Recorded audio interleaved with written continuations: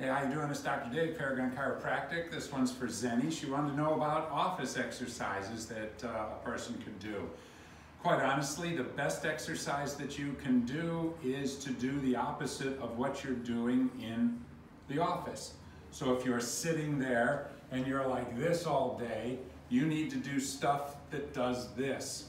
If you are sitting, the opposite of sitting is moving. So that's walking and doing things. So you really want to try and do the opposite. Um, same is true even with the neural pathways in the brain.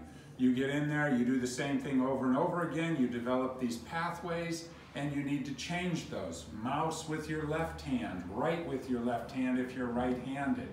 Uh, walk backwards to the water cooler. Say the alphabet in reverse. Things along those lines are wonderful for waking you up and making you feel a whole lot better.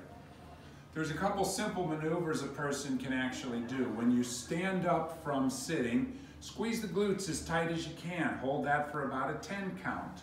You can squeeze the glutes and lean back. This takes care of any disc derangement that you might have caused. Next thing you can do is you do this sort of thing like you're reaching for the stars. So your heels come up off the ground. You do about, I don't know, 10 or 15 of these as you go through. This kind of redoes the nervous system.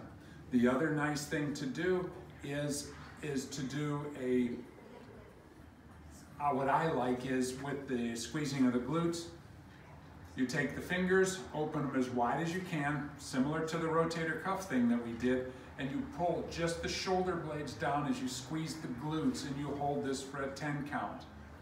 So what you're basically doing is everything that's tight because you're sitting there doing this, rather than stretch this, activate the opposite. And that would be probably about the best exercise that you can do in an office environment. All right, hopefully that's helpful.